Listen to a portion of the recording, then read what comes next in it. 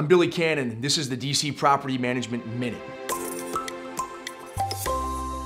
You've heard me say over and over that it's important to take pictures because we win our cases in DC landlord tenant court on paper. But let me tell you what I mean when I say pictures. I mean that when you walk into a room, we need a picture of the entire room, what I'll call a wide angle. After that, we need a medium angle. And after that, we need close ups. You cannot take too many pictures. And let me tell you guys, if you have close ups of small repairs that have been done in a unit and they don't show the location of that particular repair to, for example, the wall within the larger room, that picture is not very good to us.